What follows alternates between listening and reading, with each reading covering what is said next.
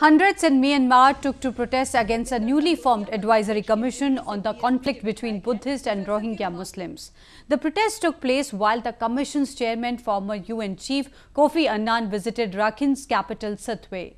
The protesters oppose foreign members in the panel as they claim that they will not understand the history of the area.